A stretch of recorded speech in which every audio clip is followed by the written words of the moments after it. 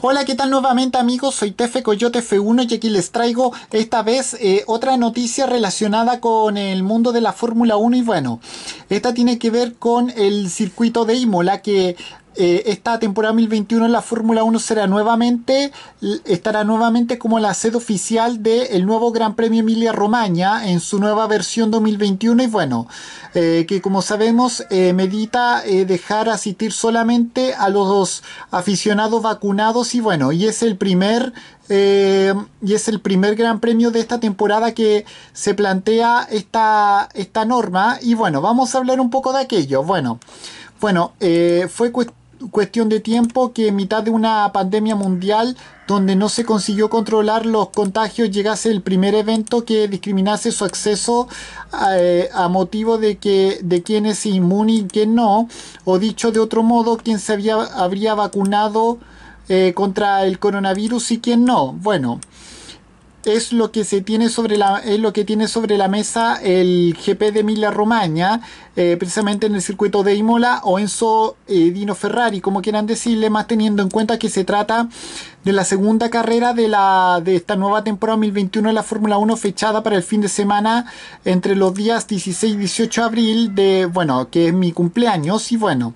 eh, sin mucho margen de maniobra por delante. Bueno, así lo expresaron los políticos del municipio de Imola, de esta misma ciudad italiana en, el, en la región Emilia-Romagna. Eh, consciente de que el público es esencial para un evento de esta clase. De hecho, no se cortaron, no se cortaron en hablar de cifras, algo que suele permanecer en el más estricto secreto, revelando que los, que los gastos de albergar esta este evento programado última hora ascienden a 2 millones de euros que van a, que van a tener que ser abonados de manera íntegra eh, por el consorcio de Imola. Eh, eh, razón por el que se desea que pueda acudir, puedan acudir los, los fanáticos. Bueno,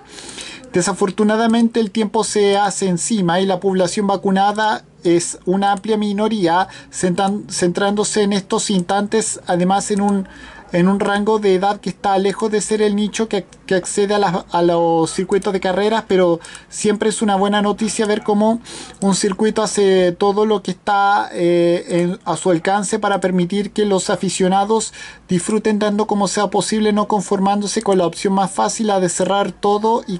y, a, y a calicanto. Bueno.